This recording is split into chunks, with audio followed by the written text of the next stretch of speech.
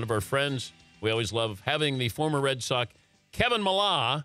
He's uh, joining us from Boston there at City uh, Hall Plaza today. The honorary good humor man today. And before the break, he uh, mentioned one of his favorite stories was when he was with the Red Sox playing the Yankees. George Steinbrenner flipped him off.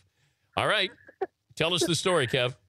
Okay, Danny. So, you know, Aaron Boone, you know, he had to hit a ball to infield. We love our little Booney, but he homers off Wakefield, walks us off the field. I think it was the 11th or 12th inning.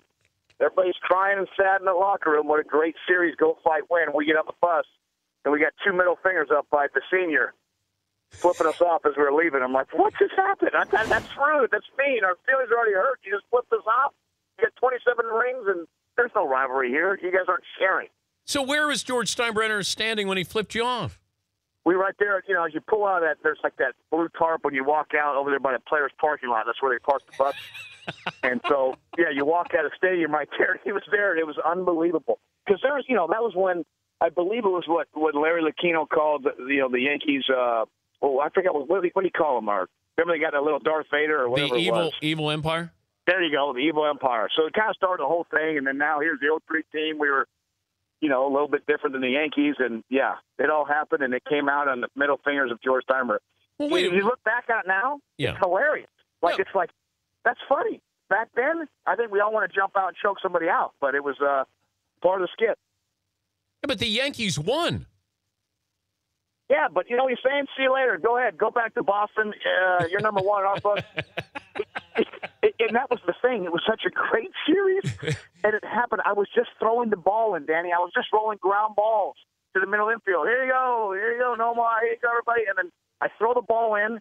First pitch, Wakefield throws. Booney goes deep. I'm like, what just happened? I wasn't even ready to get my position yet. And now I got 67,000 people jumping around, cowboy down.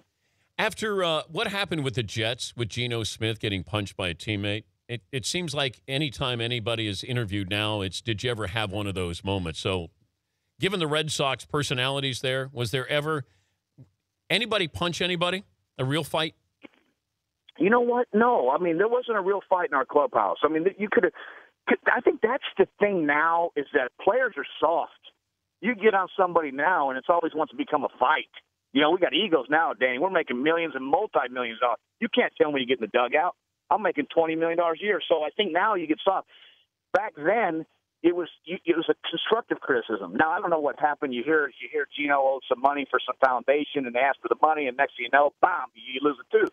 You know, but it's almost like an old school way to do things. But these days, they're soft. You can't say anything to any players. So, but but we always got on guys, but it was never a fight. You know, we did it because we loved each other. If that made sense, Dan. Yeah. Even Schilling? Uh, no, I I punched him, but uh, no, even Schilling, even Schilling in that he was so tired of his dress, his his wardrobe.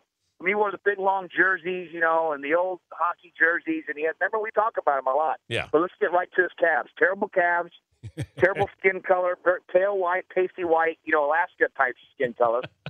Uh, but Curt Schilling, one of one of the greatest big game pitchers in the history of the game, man. Yeah. You could hit him. Oh, couldn't hit my him. God. You couldn't hit him. Hey, I homered off a true story. I homered off him in in in Florida.